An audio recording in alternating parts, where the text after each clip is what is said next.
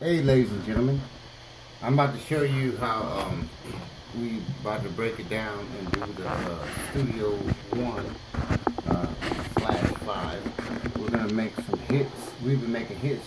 The whole thing comes down to how you want it to be set up. There's a program called the Digital Orchestrator Plus, and I'm about to. I've been setting this whole thing up to be just like that. I'm doing the best I can, but we're gonna show you we're making a new hit right now. So we got this uh, uh, keyboard. It's the um, Super Keyboard. The SS, I mean the SL88 I Grand. Then we got the uh, the IO Station 24. And we got it hooked to this laptop right here, right? We got the book up, bro. Now we're gonna, uh, I'm gonna show you how, what it does. See how it goes? Then here comes the beat on track one. Now here comes the horns.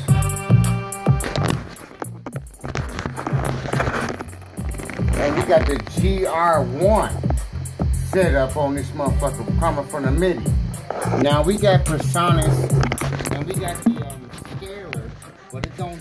TR1 does. We got that in it. Okay? Now we gotta do what it is.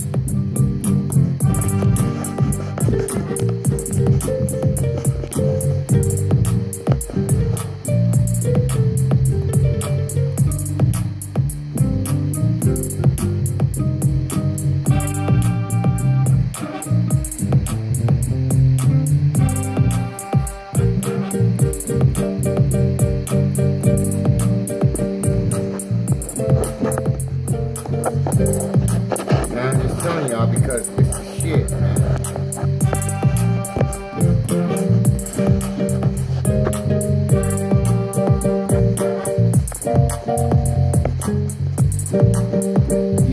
so, ladies and gentlemen, I just wanted to let y'all know the Studio One is the shit.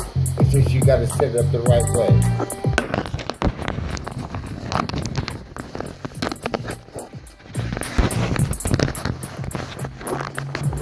But as I said before, there is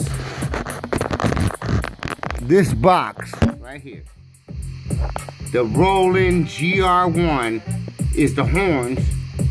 And then we have it on a, here, I'm gonna show you. We got it on the, um, see this is the PreSonus right here. Track number two, track number three, that is the horns from the the GR, which is MIDI right there. See how it's MIDI? And then this other one is MIDI, but it's MIDI to the box, the Station 21, and that is the one that gets rid of the latency. And then it goes, that's to that. So, alright then y'all, just want to let y'all know that it's possible. Peace.